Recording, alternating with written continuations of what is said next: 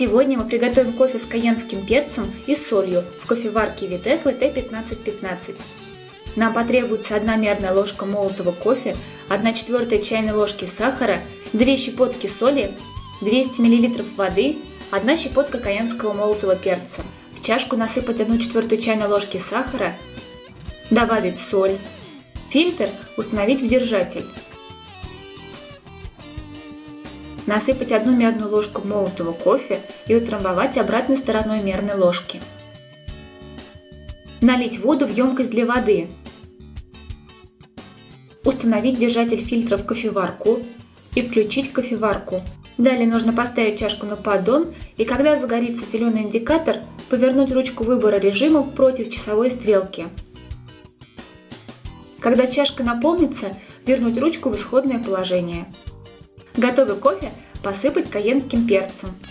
Кофе с каенским перцем и солью готов. Приятного аппетита! Витек.